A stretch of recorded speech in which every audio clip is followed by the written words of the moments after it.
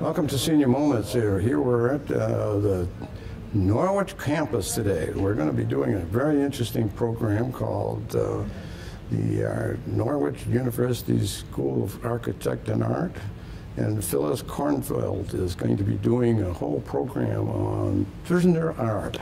And she's going to get introduced, and uh, we'll hopefully have a nice audience here to listen to her, her great presentation.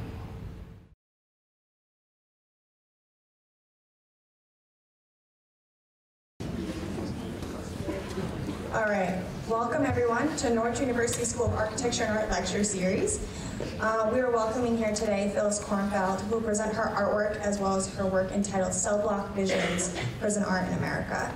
She attended the University of the Arts in Philadelphia and focused on art education. Kornfeld taught her art in a variety of settings ranging from grade school to junior college and teaching community art classes. It wasn't until 1983 that Kornfeld found her true calling after applying to teach art to prisoners. She was hired to teach at three Oklahoma state penitentiaries and quickly recognized the talent these prisoners harbored. They used unconventional ways to create an image and did so with limited supplies and art education. Please give a warm welcome to Phyllis Kornfeld.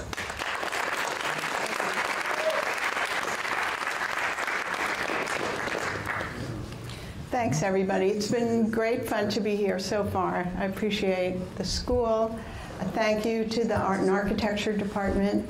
I enjoyed very much my visit to um, arts class.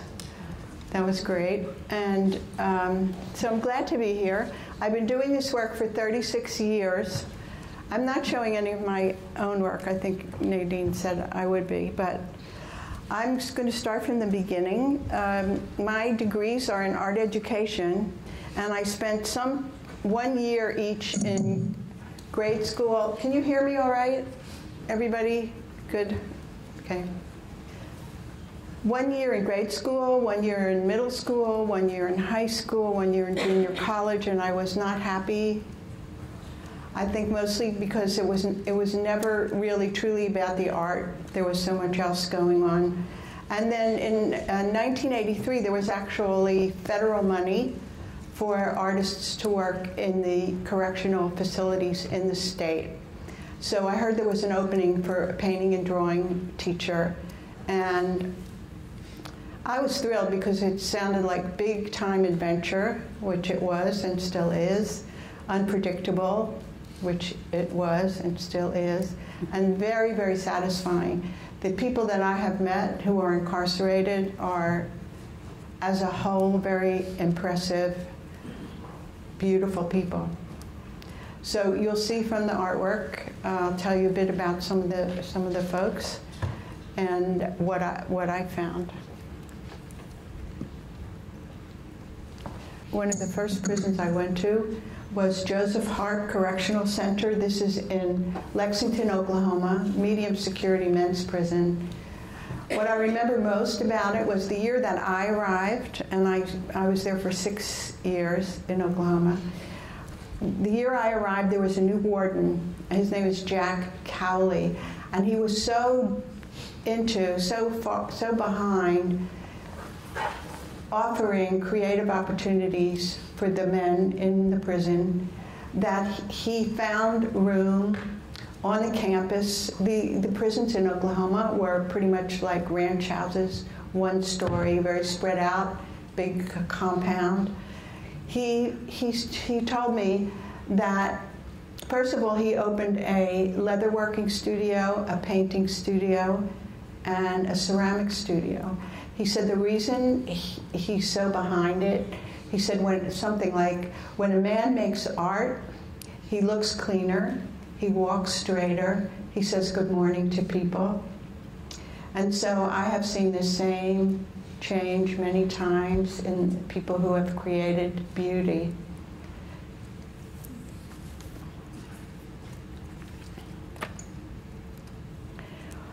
About 10 men were um, signed up for the first class. There had not been an art program in the Joseph Harp for about, I think they told me 20 years, something like that. 10 men came in, two of them with their arms loaded with drawings. This, this man, this artist was um, Braulio Diaz. He had about 60 drawings in his arms that he had done. He showed me a few short colored pencils and a ballpoint pen. He had been working on paper that he got from the trash, like the backs of inmate request forms and old calendars. So here I was, I had been taking art lessons since I was about six years old, plus studying art history besides studio art. A lot of my friends were artists, and suddenly I was seeing art that was completely different than anything I had seen.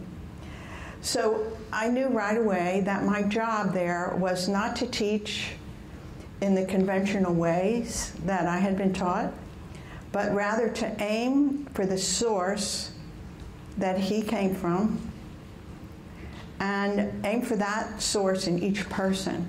And that's what I that's what I've been doing all along. And you'll see how the art is quite off the maps in a way.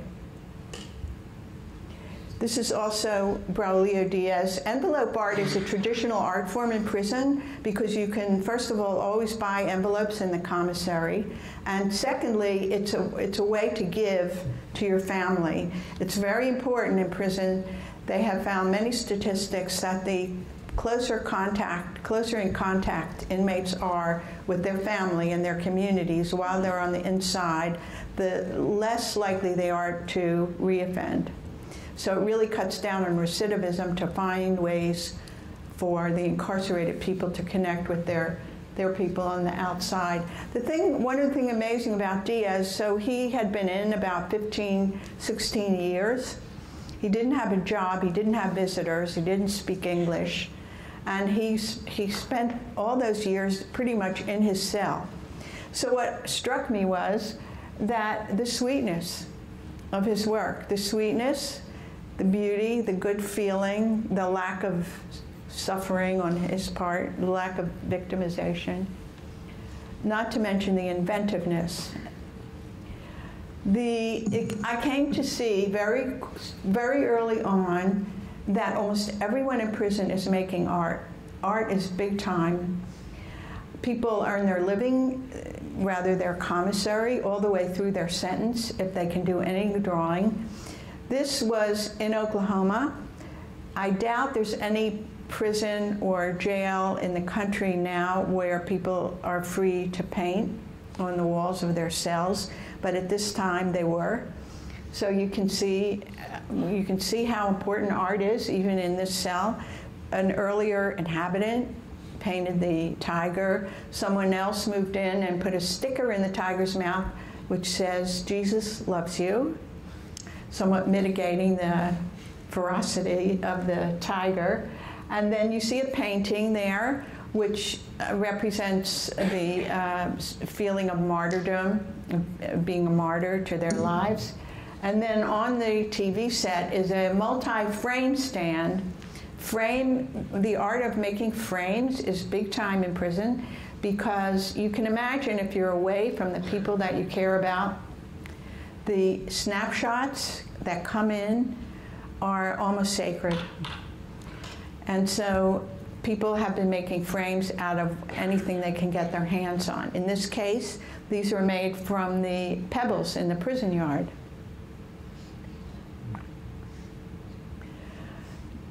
Um, Jack Cowley moved to another prison while I was still working in the system, and he, in this case, he opened up a whole section of the prison that was deemed to be uninhabitable, but he opened it up for people to have studios, craft studios and painting studios. And I thought it was interesting to see what this one person had to work with in the beginning of him of his creating his painting studio. Not very uh, artful, is it?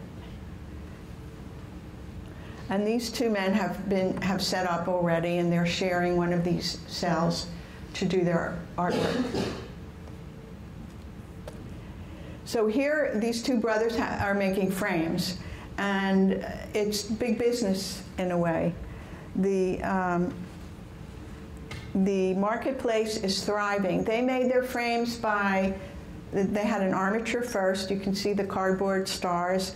Then they then the frames were made from rolling paper up tightly, dipping it in paint to get a marbleized effect And, um, and also they got scraps of fabric from the prison industry, which in that case was an upholstery shop. This frame is made from toothpicks, and the center panel is made from the cross section of toothpicks. So um, the marketplace, as I said, is thriving. And this one person told me, he said, when guys hear that you can do something, be, be it a carving, painting, poems, whatever, they start bugging you to do something for them. Once, being facetious, I told a guy who requested a carving that there were 90 guys on the list ahead of him. He replied, I don't care, at least I'm on the list. And I've seen evidence of this in many of my classes where the artists are being pursued by the other folks in order to get them to do work for them. So, can you guess what this is made from? Potato chip bags. This, this method of paper weaving, people tell me they learned it as children in summer camp. I still don't know how to do it, but I consider it one of the folk arts in prison. It, it it can be defined as a folk art because it is made with materials that are at hand, and the skills are passed down not from generation to generation, but from cellmate to cellmate.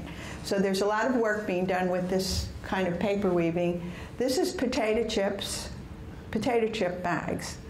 So the artist went around the cell block and asked people not to throw away their potato chip bags, turned them inside out, washed them, and tore them into strips and did this weaving. The pom poms on the baby shoes are made from the colored bands of sport socks. They unravel the threads of the sport socks to make the pom poms. These baby shoes are immensely popular. I, I, brought a pair with me. By the way, after the talk, you're very much invited to come and look at some of the actual artwork that I brought with me. I included the ramen noodle wrapper so that you can see the care with which the artist repeated the logo. There's a, this full concern about beauty and care that I see all the time. The ones that I brought over, if you look on the inside lining, you can see pasta with tomato sauce on it. You can see the repeated pattern of the pasta and tomato sauce. And also, I, do, I want to say that the men and women who are making this art are very, um, they're very serious about their mediums. And just to give you an example, I walked past a conversation not too long ago where this one man was talking to another man and he said um, he was ruining the fact that there were no longer Eagle brand potato chips in the commissary. And therefore, he lost a lot of his palate. He was saying, the Eagle brand potato chips are no longer available in this prison. Maybe they have them on the streets, I don't know. It had a beach scene on the front, so you had your tan from the sand, your blue and white from the water with the waves, and a big red and white beach umbrella. I saved them for four months to do a jewelry box, and a CO, correctional officer, comes sweeping through and says, You can't have this, and he tossed them.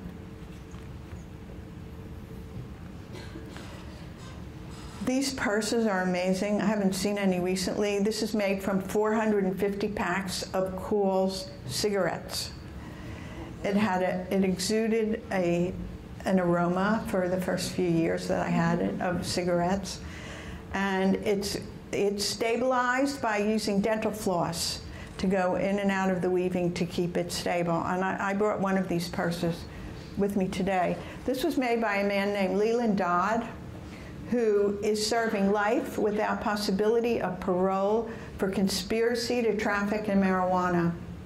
And this was in Oklahoma probably 30 years ago. This is another folk art. The work that I'm showing you now is pre-art program. This is work, this is work that everybody in every prison is doing. It seems to be very crucial to a person's self-respect or to remind myself that I'm a human being, that I can create this, which has no function other than to be beautiful. The uh, soap carving, some places have stopped allowing that and giving the, um, the incarcerated people liquid soap because there are some tales about making the floor slippery so that when a correctional officer comes in, they will, they will slip and fall. And um, there are all kinds of excuses and reasons to take, take away possibilities from the people who are incarcerated. Not everywhere, not all the time. Envelope art, as I said, is very popular and commercially very significant. Mostly, there, there's a very short list of images that are popular, and you're seeing them right here. These are the envelopes of a, an envelope maker artist. The way it works is in prison, the uh, people there don't have money in their hands, so they have an account with the commissary. So maybe this man charges, say, a six pack of Pepsi for an envelope and the buyer goes to his or her commissary account, gets the Pepsi, hands it over to the artist, and receives the artwork. So these are the most popular images hearts, flowers, um, and the uh, symbols of their country that they come from. I think the frog is from Puerto Rico, I'm not sure. Anybody know? Okay. The kind of companion art form to envelope art is handkerchief art. I brought one of those here. You can get in, in prisons where there's no art paper, they can't buy any art materials. The commissaries have these beautiful cotton, 16 inch square handkerchiefs, and they're very, they make a very good surface for acrylic paint, ballpoint pen, and color pencils. And this, uh, this particular one is expressing this, the other advantage of envelope of uh, handkerchief art is that you can fold it up and send it home in an envelope. So this is very important for this man to send to his girlfriend. And you see again the hearts and roses in addition to the religious symbolism. Now, when I knew I was going to work in prison, I figured all the art I would see would be biker art and tattoo imagery, and then maybe some portraits of famous people. And I do see a lot of that. And uh, this is an example. This is by George Dyson, who was in my program for many years, and he, he made these. He also made drawings and paintings. But this is kind of what I expected a biker style of artwork, and it's just ballpoint pen on this handkerchief. One thing he told me, um, it's, it's very important that when one person is making art in prison, it doesn't stop there because it has impact on the staff, on their peers, and then of course when they send them home, there's impact on their families and their communities. So one thing that George told me, he said, he said the COs think we're less than they are. They get surprised when they see the work they see us in a different light. They say, hey, you got talent. So this is the most popular uh, art that a person can make. The family sends in a picture of a new baby. The artist or, or the artist's customer turns it over and asks for an enlargement of the snapshot. In this case, they requested that just the baby be, be in the drawing, and this is done on a handkerchief. So when the drawing is finished, the drawing is sent home, the family frames it and hangs it in the living room wall, takes a picture of it hanging framed on the living room wall, and sends that back inside to the person who sent it to them. So you can see again the connection. If you're locked away for 15 years, 20 years, and you want to stay in touch. Imagine what, what will you write? What will you write in your letter when all of your days are the same and all of your months and all of your years? So that's one of the most important, most significant value of making art in prison is to stay connected with your people.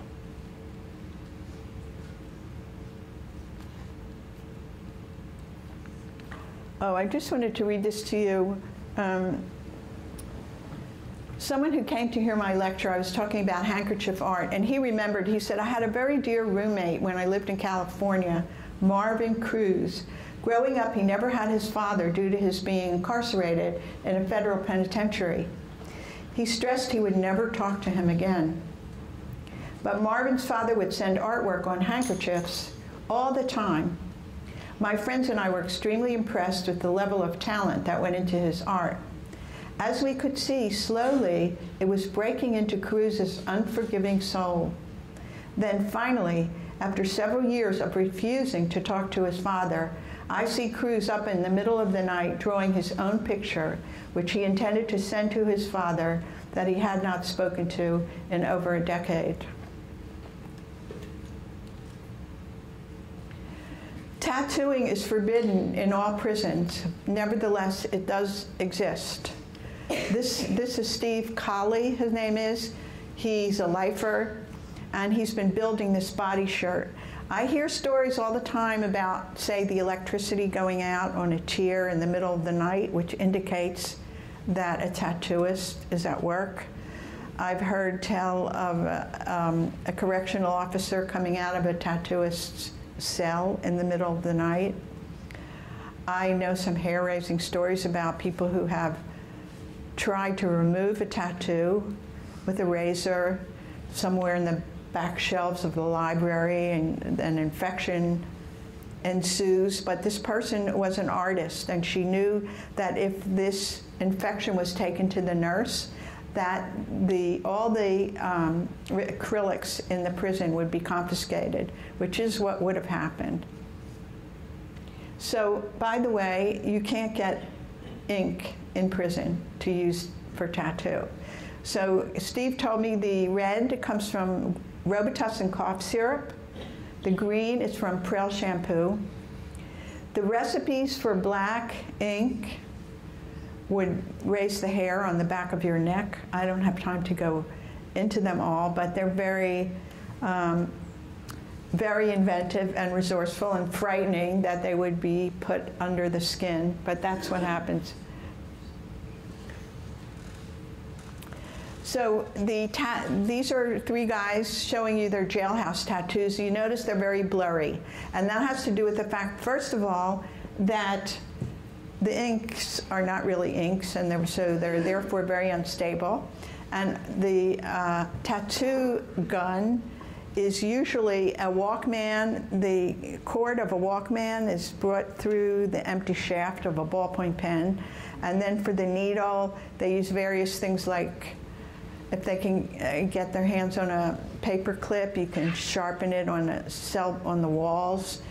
Or I heard a guitar pick is good for that. So you can tell how resourceful and how important it is for these folks to make their art. So in comes the art program now. The things I've shown you, as I said before, were pre-art program, but they are also happening all the time. This is our class in Oklahoma. Every art class I've had in every prison has always been a room that is, has multi-purposes. So in this case, we have our class in the faculty dining room.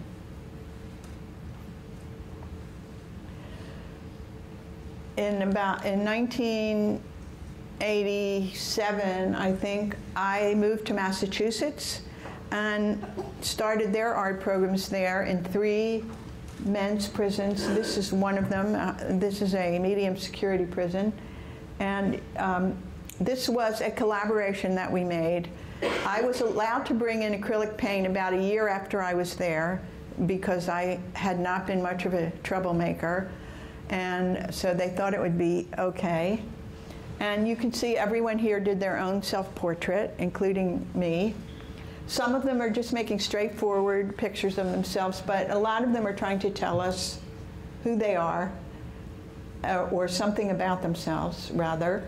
For example, the man in the bubble was a sex offender, and he's showing us how he's been ostracized by the rest of the folks there. And the pictures on the wall were painted by people in the art class. I was the perennial bag lady. It took me about, I don't know, four or five years to get smart and start bringing in a luggage carrier. I'm not proud of that. it took a long time, but I wasn't there yet. And you can see through the doorway, you can see the compound. This was a very creative period. This was a very creative prison. The difference goes pr pretty much all the way up to the climate of the whole country and who's pre president. That's what I found in my experience, that things get severe and tight under certain, uh, under certain presidencies and certain climate, political climate in the country. And in this case, this was amazing because there was so much wonderful art being made. So one thing that I introduced is doodling. And everyone who comes to my class has to doodle as a practice one full page a week. The purpose of doodling is so that they have, they begin to develop some confidence in being guided by something that they can't see and they can't name. And this is an example. So what has to happen is that you put your mind on something like uh, sports on the radio and move your pen around very slowly on cheap paper. And what happens often is that this beauty is created. So people begin to feel a bit more comfortable about not knowing ahead of time what they're going to draw. If you know ahead of time, that means you already saw it or you've already done it, right? So this way, I want people in unknown territory when they address their paper or their canvas. Not that there's canvas very often. This is another person's doodling, completely different. It's interesting because there's no subject matter here, and yet it has personality, it's humorous, it's active, and this comes not from the mind, not from the conditioned mind. And these people I'm showing you, except for two people in 36 years, have never made art before. This, this is a rare example of abstraction that I've seen only a few times in all these years, mostly because there is theory behind abstract and non-representational art. And in this case, he was doodling and something, his unseen guide told him when to stop and to, to, put, to add color. So that's how this piece was created. And here's another example. Usually, um, there's an idea in prison of the different kind, ways you can draw, and there's an idea that's really good to be able to do portraits, landscapes, abstracts, and so forth. And when someone talks about being good at abstracts, they're talking about the kind of a cliche abstraction like um, lightning, lightning strokes and floating eyeballs and that kind of thing. This, this, as opposed to that, is very different and creative. And I have seen in 36 years, right, going to three prisons a week, I've seen thousands and thousands and thousands and thousands of pieces of art. And so for me, this is very rare and very happy and uplifting. And there's nothing here that you've seen before. Now, I want to introduce you to the, one of the first people I met in Oklahoma. This is uh, Charles Mosby. This is called Prison Art Class. And his teacher, who's someone whose hair used to be brown, the, um, what, he, what Charles joined the art class because he felt that he was going crazy. He had been in, I think, 17 years. He just came to art because he was going crazy and he thought this would help. What he discovered when he created these strange creatures, he thought this was proof that he was going crazy. So at that point, I brought in some work by well-known artists like um, Paul Klee, Jean Miro, so that he knows, and I told him that his, the source of his art is the very same source that these famous artists are coming from. They have just had very different life and very different opportunities. Charles said, Art became my counseling. I can open my eyes and see beauty in colors. Like I always used to think my skin was just dark brown, but I can see now I am a variety of color. That's very, very pointed perception, a very sensitive perception from someone who's been just totally reactive for 17 years.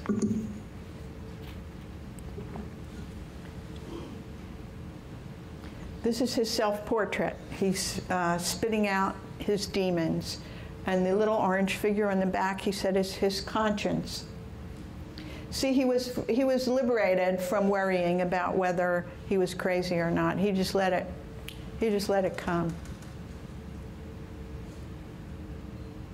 This is called um, drug usage equals enslavement, imprisonment, and death. So this is Charles in his cell growing old with the demons of the night, which include alcohol, addiction to alcohol, and crack cocaine. And here is Charles' drawing, which says to me again the, the miracle of this drawing is pure joy, right? It's pure joy, and he had been in a very ugly place treated very badly, and yet he comes up with this, this beauty. He said, I am a wiser person now. I no longer run from goodness. I've shown the world how evil I can be, and now I want to show the goodness in me. This goodness was always in me. And that's very important. This goodness was always in me because that is what I am trying, that's the message I'm trying to deliver to everyone that this goodness is in you. And we have to find a way to express it. This goodness was always in me, and I drowned it with alcohol. My incarceration is hard, but it is not wasteful. I will come out of here with compassion.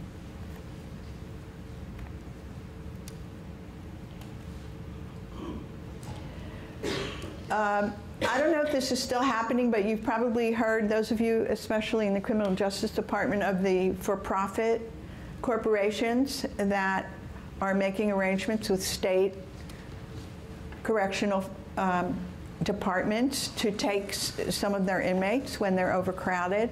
And they usually take the best behaved people bus them far away where they can't even get phone calls from their family. In this case, Charles was sent from Massachusetts to Odessa, Texas for two years.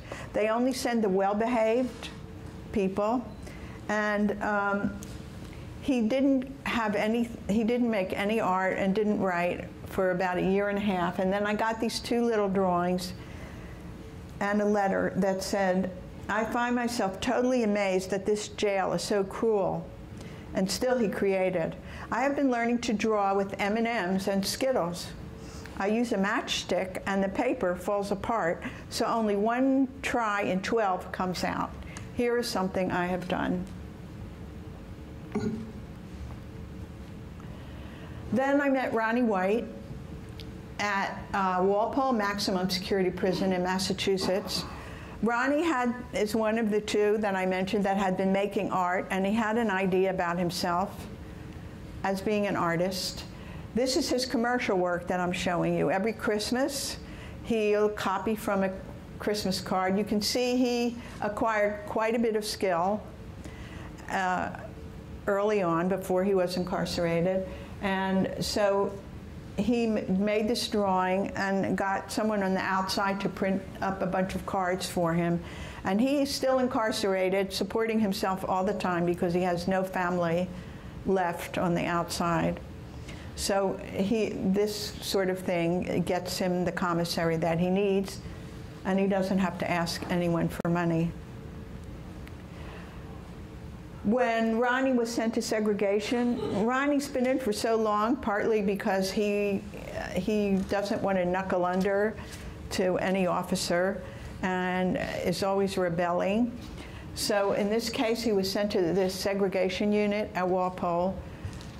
uh, block 10. And this is called, um, this is called, forget what this is called, but this is his self portrait on the mattress. And the images for good and evil. The man in the foreground is the part of himself that is good. The devil on the toilet is the part of himself that he feels is evil. And there are hundreds of faces hidden. His work is kind of an example of what the doodling does because he always starts by doodling little tiny tight squiggles, and as soon as they begin to look like faces or figures, then he develops them and brings, brings them out.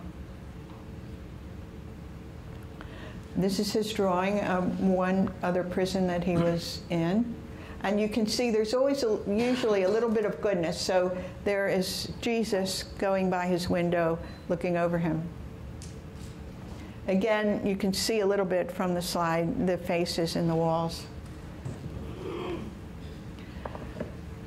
From time to time, I get letters and requests from people who are writing books on this topic, and they are looking for cover designs and illustrations for inside.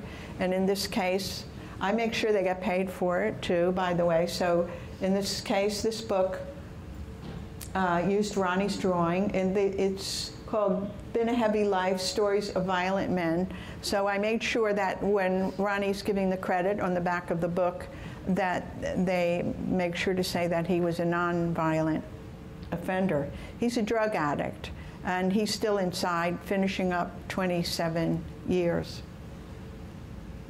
He's never had a, used a weapon. And this pretty much tells the story. This is called blending in. Ronnie's been in for so long, he feels that he would not be able to cope if he got out. And so you can see how he's blended into the atmosphere. Not to mention the beauty here, the composition, the mood. The, it's the only thing I've ever done that doesn't get me into trouble. I know deep in my soul I have the makings of a master in my blood, and it may take a lifetime to perfect my talent. I realize this because when I'm working, sometimes I get these excitable feelings like I'm really onto something and the path is easy to follow. It's not my mind that's giving me these messages, it's my soul. I want my work to be recognized for what it truly is, as pure as snow. Just a reminder of the atmosphere that we're talking about in which these works were made. This is the inner, inner perimeter of a Walpole prison. One year at Walpole, our art room, which was a, little classroom at the end of a tier, uh, for some reason we couldn't use it, so we were assigned to this uh, weight room. Uh, it was just a concrete cube with one massive piece of equipment. And the men just found ways to sit down and places to put their drawings, and they dug right into it. There's no messing around in these classes, there's no socializing, and every week they're grateful to be there. This is my drawing, by the way. This is a, a, part of another collaboration that we did at Walpole. Our class was in the basement, and there were was only a correctional officer would come down about every uh, once or twice in two hours. Otherwise, we were on our own. But it was great because it was a messy room, so we didn't have to be that careful about splashing paint. Again, people did their self-portrait. The works on the wall are reproductions of what of their art, and we could we were even able to um, paint on the wall. So there's Bill Engelhard has gone into the next room and done a huge drawing on the wall of the streets of Charlestown, Massachusetts. The man with his back to us is Arthur Cagney, and he's looking at his painting called A Riot in Black and White. And this is the other end of that painting. And there's a little kind of a puny correctional officer um, walking the corridor. And there is Jimmy. He shows himself with his beloved fried chicken and cigar, which he isn't really allowed to have either one. And then Tyrone in his blue sweats. So I told this class about this today. There's so much humor. There's such kidding around and so much humor. This is Tyrone and Jimmy's um, Christmas card to me. That's, that's supposed to be me. I promise you, I did not wear bedroom slippers to prison. Um, but this is uh, the way they see my teaching is get to work, no messing around. So there's a great deal of humor, there's a great deal of affection in this also. This is one of Arthur Cagney's cartoons.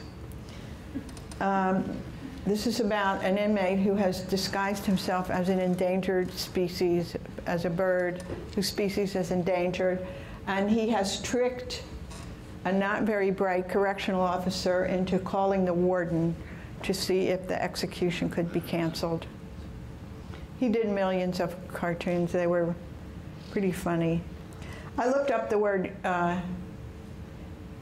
the words humor and humility all come from the same root word, which is humus or humus, and it's also the root of the word humanity. Humor, humility, humanity. So this is Arthur Cagney's painting. When he was a boy this size, his father strangled Arthur's sister to death in a drunken rage. And he got um, a few years for involuntary manslaughter. So he didn't want the little boy, Arthur, to visit him on the inside. So on Sundays, the father would go to the chapel, and you can see a little white speck in the upper right hand corner. That is his father going to the chapel because the chapel window overlooked the Esso station. And Arthur's mother took him to the Esso station. They waved to each other every Sunday, and that, that was their visiting. And this is the Charlestown neighborhood where Arthur grew up.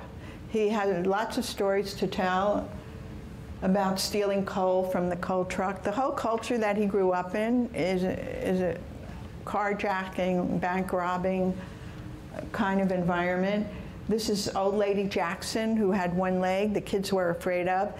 So here's someone who never had any art lessons. He nevertheless peoples this with live folks. It's kind of like the Norman Rockwell of the netherworld.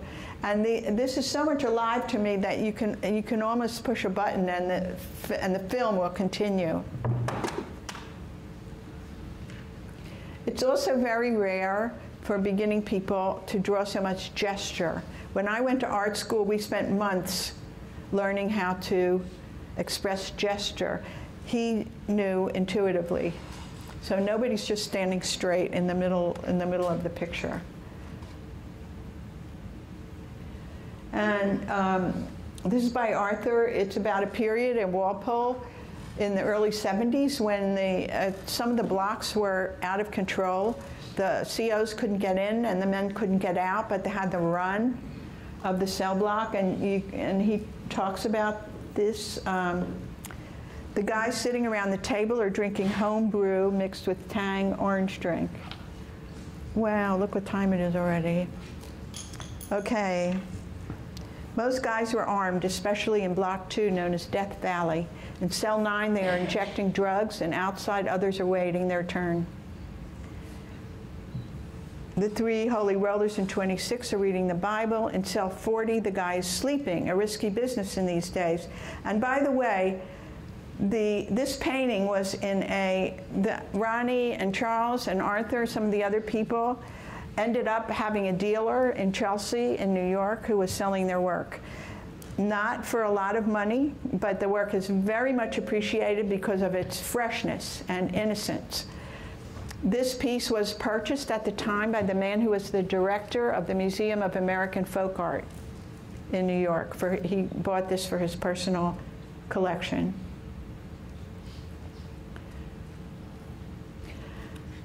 uh, Larry Mox. This is called um, Hidden Side, and he here is speaking about what happens to a person when they're incarcerated. They, he starts out to be kind of a regular person, then he begins to change. And Charles talks about it being uh, like a jungle sometimes.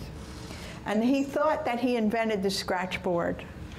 This was a very ebullient, lovely man, and doing about two years in county jail. And this is his drawing also called Count Time. You see how much interest there is or intuitiveness in the design of this? And every figure has a clock for a face.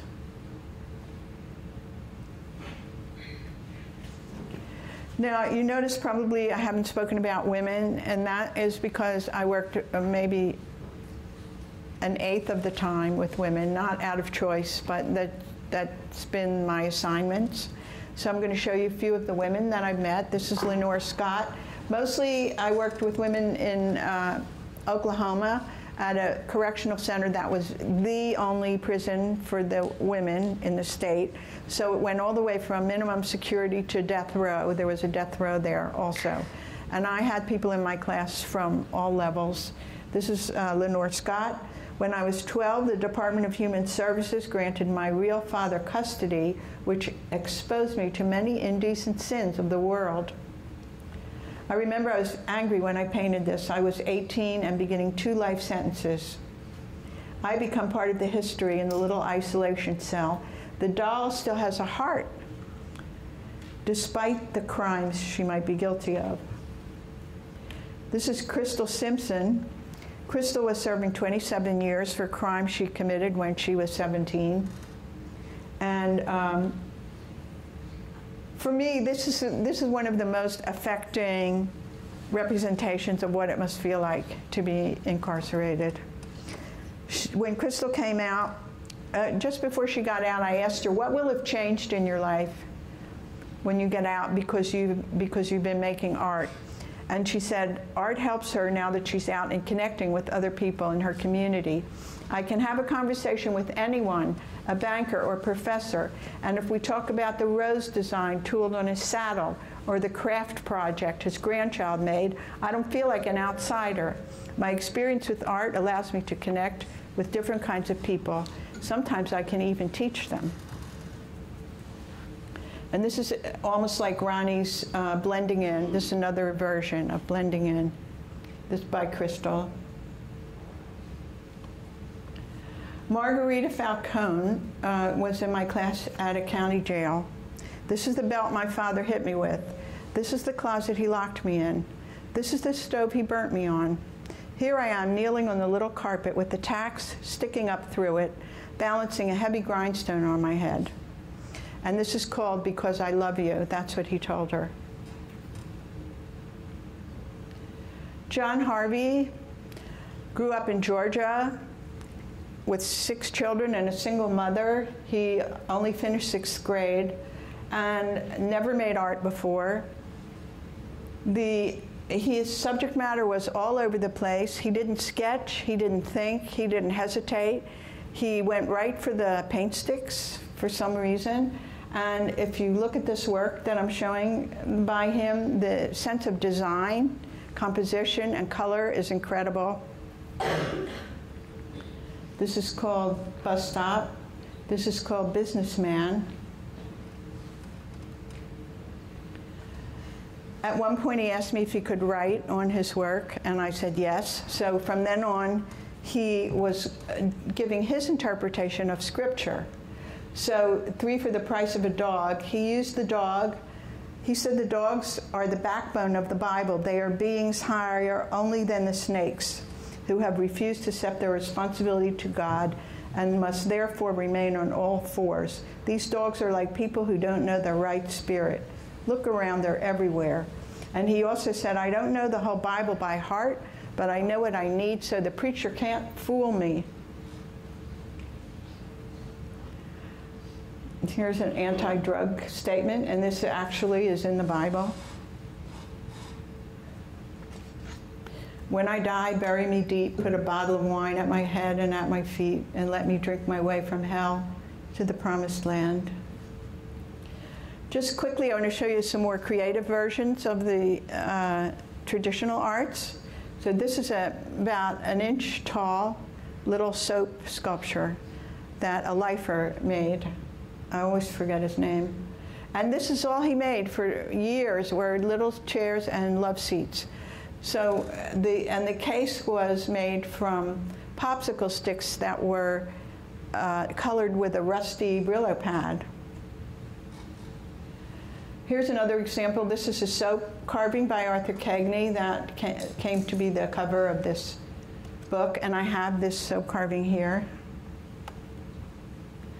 This is by Nelson Molina. It's about a jailbreak. Maybe he used two or three bars of soap. See, they knocked the door down. One man is impaled. This is a very dramatic story. One man is impaled on the razor wire. Another man fell to his death on the sidewalk. And the passersby are paying no attention. So the title of this is No One Cares. This is toilet paper sculpture by Dominic Vincenzo. And it's about the size that would fit into a shoebox. So this is made of toilet paper and cardboard and then painted with acrylic paint. The details are incredible. The shoelaces, the Walkman. So this is called Released by Death. And this old timer has secured his release by overdosing himself and ending his life.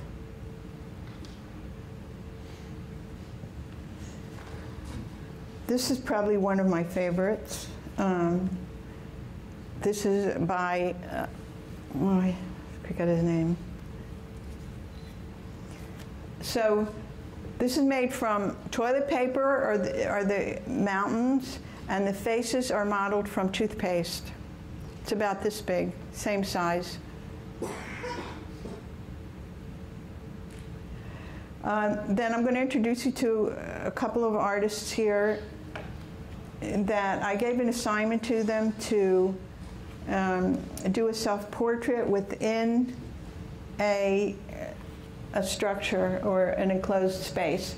And this is Anthony's. As you can see, he, he was a graffiti artist on the streets, and he had trouble doodling the whole time. He would come back and say, I can't do it, I can't do it. It turned out he was afraid he would lose his chops, you know, his graffiti chops. But the very last day before he got out, he came in waving this drawing and he said, Okay, I got it, I got it. He discovered that he could be creative and create something new and still use his graffiti chops, was the way he put it. This is Wilmer Carabello, and you can see he's writing, he's drawing about doodling. The doodling is all over the place ceiling, floor, um, I use that I use that baseball bat to make sure that everyone does their doodling. Look at Larry White. He this man was in for 30 years. Look at his self-portrait and his environment. And yet, what's interesting is that the pictures on the wall and the books on the desk, they're realistic. And yet, the, the environment and his self portrait are something else. So Lionel was one of the um, one of the men who did this assignment, and he handed this in before he was released too. I asked him the same question I asked Crystal: What will have changed in your life when you get out because you've been making art? And he said, Well, I learned to exercise my gift. I'll have a purpose. So I want to close with this painting by Braulio Diaz once he was in the art class. I brought in some very large pieces of canvas and also found big uh, discarded window shades in dumpers, dumpsters. And this is called condominium. You can see this is all the beautiful, good things that he can think of. There's a quote by Leonard Bernstein, which is about music, but you can replace the word art for music, and this is Uh, this goes with this, I think. This will be our reply to violence to make music or art more intensely, more beautifully, more devotedly than ever before. Thank you. That's it. Thanks.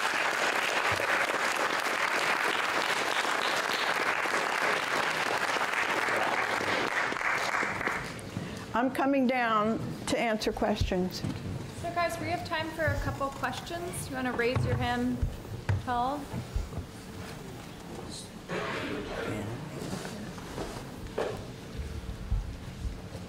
Do you have a question? I'm asking you. Oh, no, I'm overwhelmed. It's, uh, yeah. It's beautiful stuff, isn't it? Yeah.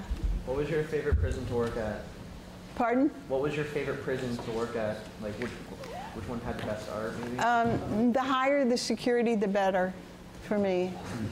Um, because those people have their lives together. You know, they, can't, they know they can't go anywhere. And so they're making their life as full and as good as they can. They're at peace. Um, and they're more they're more able to uh, concentrate intensely. People in county jail are generally kind of jittery and you know they want to get it over with and get out, and so they don't they don't make a life for themselves. The best class I ever had was in in Walpole Maximum Security in the segregation unit, which is a punishment unit. So they were they were cuffed to walk the tier and come come in to the art room, which was a little classroom. The door was locked behind them. They went over to a little slot in the door to to have the cuffs removed. And that there were I would say there were about six, seven people in there. And I would venture to say that group was the most creative, intelligent, charismatic uh, people that I've met in all these years. And they were in the punishment unit in the maximum security prison. So go figure. Yeah, well, the implications are very interesting, I think. Anybody else? Yeah. In your experience, did you see more inmates trying to replicate what they saw in the outside world through their art, or just create something that they had thought of? Well, the ones that were not in the art program, they're re, you know like they're doing a lot of tattoo flash, for example.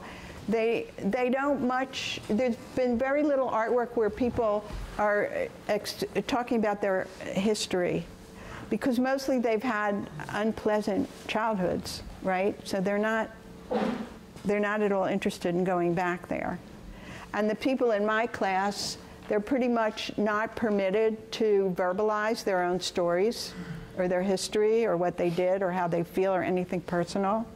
So what comes out, like you could see John Harvey's work looks like an African American did it, but he wasn't intentionally trying to show his ethnicity. So um, no, they not very much. I mean, Margarita Falcone, she spoke about her abuse, and I've just seen that a few times. And usually by women, men are less likely to admit to it. So good, good question. Yes. Okay, you'll have to. Yeah. So I was just kind of wondering, uh, 'cause you, you talked about how folk art was something that you could pass down. I was just wondering if there were any inmates that you found that have taught others their style of art. Or They teach each other all the time. Yes, it's a, it's a beautiful thing. You know, we see in the movies they're always trying to fight each other and all of that. Well, I have found, at least the people that I meet, are very solicitous of each other. When a new person comes to prison, they have to figure out how, how am I going to negotiate this new life, right? And they walk in and see in the common areas people are drawing. So they go up to someone and say, how, how, do you, how do you do that? And they teach each other how to draw. And so it, it, it's, you know, it's really useful in that way. They definitely teach, teach each other. And it's a very peaceable way for them to interact also, right? Yes. Oh, is your hand up or yes? Talia, will you repeat what she, sa- she said? I,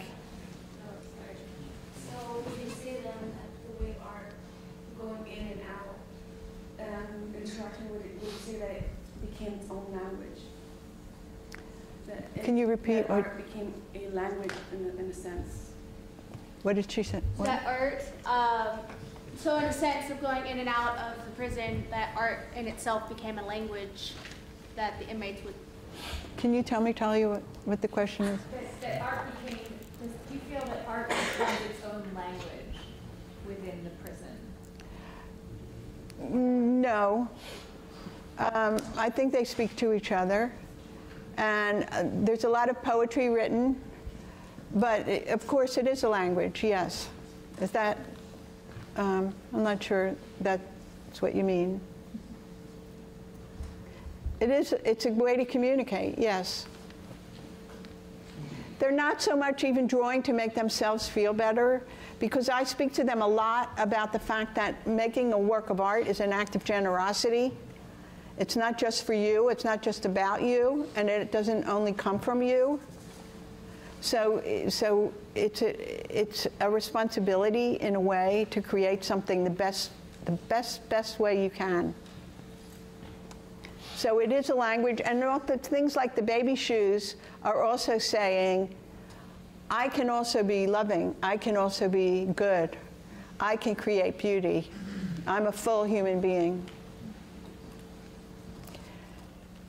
Yes. Um, Just curious, um, Holly, I don't hear very well, so. oh, okay, Just curious, um, the prisons that you worked at, Mm-hmm. like how many times a week? Um, What was the, the numbers in the? The way it, well, the way it works is that um, a, a sign-up sheet is put in, when I start a new program, a sign-up sheet is put in all the housing units, and it's pretty much first come, first serve. The size limit has to do with the space that I'm given. I'll take as many people as I can, but usually we have a small space. And we meet once a week. In Connecticut, I was at, worked for the Connecticut system for about six years, and that was every two weeks. But they, there was high security, so they, they didn't lose the, the energy, they didn't lo- lose the flow. That's pretty much how it worked.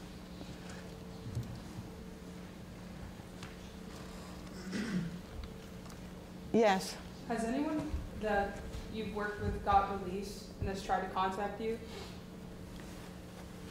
Um, only a couple people. I, I made it a point in the beginning not to follow people, not to con- stay in contact with people afterward, because um, it was it was too much. They're they're they're so needy mostly. You know, there's a big stigma. People have a really hard time when they get out of prison. So uh, even though Lionel said he'll he'll find a purpose, it's not going to be that. It's not that easy. So no, I've only I'm still in touch with Ronnie White, who's still locked up. Crystal Stimson, I was in touch with, and she died about seven years after she was released from Hep C, which she caught in prison. Hep C is rampant in a lot of in a lot of prisons. So I- I do not keep in touch. I know one man, I know two people who have kept their art going after prison because, like I said, their lives are chaotic. It's hard to find work. They're mostly uneducated. But one man who was in a Connecticut prison was, he learned to embroider at his grandmother's knees when he was a young child. So he started unraveling socks. He used his um, boxer shorts, cut them up, stretched them over a Tupperware bowl. It- this was minimum security. Somehow he scored a sewing needle, and he embroidered. He would embroider sports logos. So that that was a really good business. Then his sister brought an art dealer in to visit him at one point, and she suggested that he use imagery that's more, more personal, more about, more his. So he started doing, these were four inches square, and he got out pretty soon after that. And so he is still producing these little tapestries, he calls them, and he has a dealer in New York. He's one person. And then um, that's all I can think of. I mean, the people who kept making art are people who have had people to go back to. Like one man, I think, was still doing soap carving for a while, but his and his mother was supporting him, and he lived with her, so he was able to keep to keep doing it. But no, I don't. I don't keep in touch. Okay, so thank you very much. Look, there's a lot of beautiful work up there in front. Maybe we could put the lights on as they go out? Sure. Yeah, thank you. Yeah, thank you.